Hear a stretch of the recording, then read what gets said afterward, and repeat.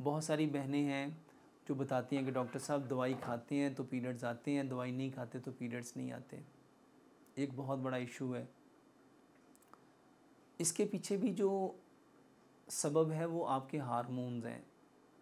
और मैं अक्सर जो कहता हूँ कि ब्रेन को जो इन्फॉर्मेशन मिलती है, ब्रेन वही केमिकल प्रोड्यूस करता है। और ब्रेन ने जैसा केमिकल बनाना है, आपकी बॉडी के हारमोन्स आपकी बॉडी के गैस्ट्रिक जूस आपकी बॉडी के इंजाइम्स आपकी बॉडी की सक्रीशन उसी के अकॉर्डिंग बननी है। ओवर इमोशनल होना ओवर एग्रेसिव होना ओवर हाइपर होना और ओवर थिंकर होना, इसको बंद करें। लंबा सजदा करें, यहाँ से चीज़ों को छोड़ना सीखें। दिमाग को रिलैक्स करें। और इसके बाद ये जो कलवंजी और मेथी दाना है, सौ ग्राम कलवंजी, सौ ग्राम मेथी दाना दोनों को मिक्स कर लें।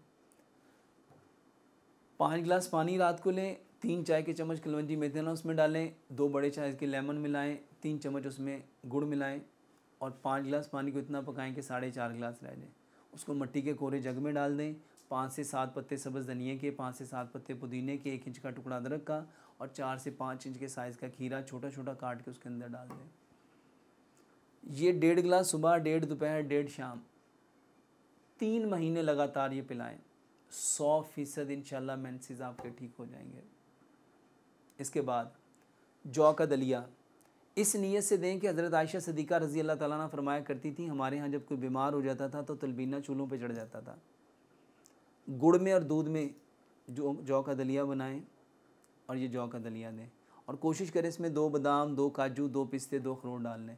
दो तीन चुटकियाँ सफ़ेद तिल की, दो तीन चुटकियाँ चारों मगज़ की, दो तीन चुटकियाँ किशमिश की, दो तीन चुटकियाँ खशखाश की और दो तीन चुटकियाँ सौंफ की। कूट के चौके दलिए में डाल लें। तीसरे नंबर पे आप अदरक, लहसुन, पुदीना, नारदाना, बराबर मकदार में हसब ज़ायका, सब्ज़ मिर्च और काली मिर्च। इसके साथ आधा पाव सलाद और एक चम्मच चटनी का सुबह, आधा पाव सलाद और एक चम्मच चटनी का दोपहर। ये लें।